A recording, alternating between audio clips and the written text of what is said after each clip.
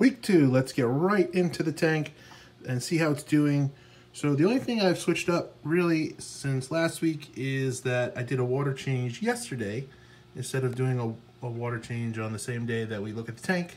So just makes it nice right away instead of having to wake up and do the water change and then do the video. Look at this. After one week, this whole leaf just popped out. yeah, you love it. Look at how happy he's like, look at my leaf. Yeah, it's got a brand new leaf. Doing great over here with the Java Fern. Java Moss Gel is doing nicely.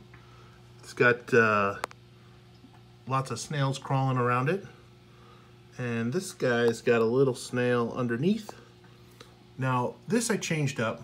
Instead of water sprite forest, we have hornwort forest. But the problem is, when I split the hornwort, the top obviously is on the right, the bottom's on the left. The top seems to continue to grow pretty well.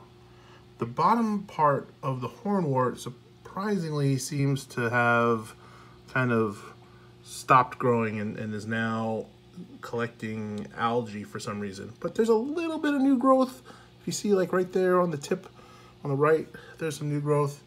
Also, um, we're going fish shopping next week because we're almost out of neons. This, this neon is gasping on the bottom and uh, that would make this neon over here on the left the very last neon.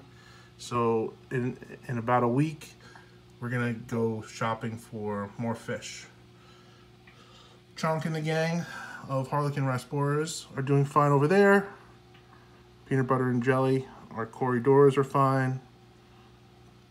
Pancake is good as well, and bacon, bacon's fine over there. So everyone else is fine, except for that guy is not doing good.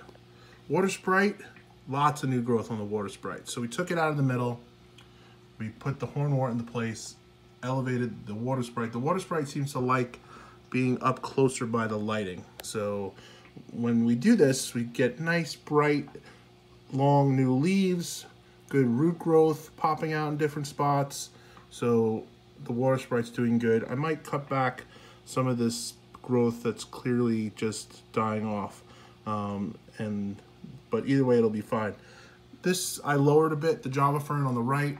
Seemed to be shriveling at the tips. I was worried that the tips of the Java Fern were a little too close to the light and actually getting sort of singed or kind of overexposed. But I love these little like leaflings, like the little fingers reaching up. Uh, they're so, so cute and they got lots of root growth. So really happy to see that. Overall, tank continues to show growth. Uh, yesterday, I dosed some potassium and some phosphorus and some magnesium. And today, I'm going to do my some micronutrients. We're going to do a little bit of iron and uh, a micro flourish micro, mic, yeah, flourish trace. Sorry, not micro, flourish trace. And that's it, week two. Uh, I'll be here next week, so come on back. We'll see you in a week.